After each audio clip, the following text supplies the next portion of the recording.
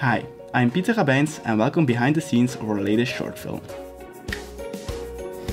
This adventure started a few weeks ago with four friends. We were working on a completely different project. It was going to be wild, dramatic, full of suspense. But the script was stuck. The story wasn't even near finished. With only three days until we would start shooting, the four of us met.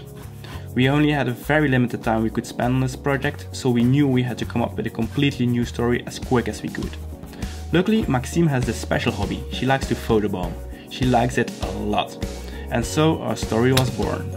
Stimulate those muscles and chew and chew and chew. A, O, E, U, I. Brave face, Botox, face of your future. Brave face, Botox, face of your future. Beautiful girl, you can do this. You can do this, girl. We're gonna do this. You're gonna go get the question right. Move those faces. Okay, we can do this. Go, go, go. The interview and most of the b-roll was shot in one day. We shot a documentary in the style you see a lot these days in mini documentaries with lots of b-roll, lots of sliding shots and close-ups.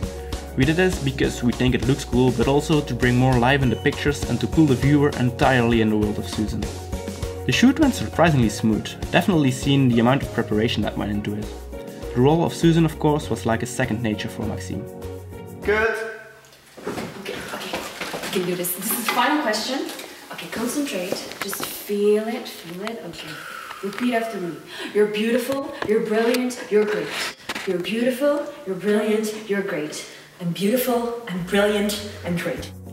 As we all know, the better your gear, the more magical powers to create better videos, so we used the Canon 600D with a couple of different lenses. For audio, we mounted the Rode Video Mic Pro on a boom pole and plugged it into the camera.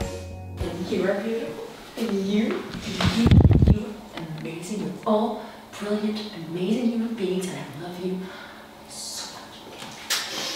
This project showed us that while developing a short film, we should always be open for new inputs. If something isn't working, just throw it out. Sometimes it's better to put your old ideas aside and start with something completely new. No matter how much time you have or what gear you own, if you want to create something, there's always an opportunity. And that other story? Well, we might end up doing it next time.